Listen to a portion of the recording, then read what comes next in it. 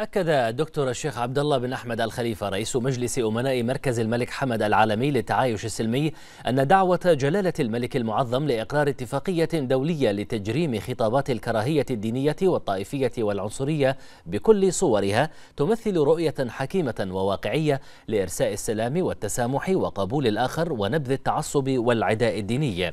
جاء ذلك بمناسبة اليوم الدولي لمكافحة الإسلاموفوبيا حيث قال رئيس مجلس الأمناء إن مملكة البحرين بقيادة جلالة الملك المعظم وبدعم سمو ولي العهد رئيس مجلس الوزراء تجسد مبادئ الاعتدال والوسطية الإسلامية السمحة فكرا وممارسة.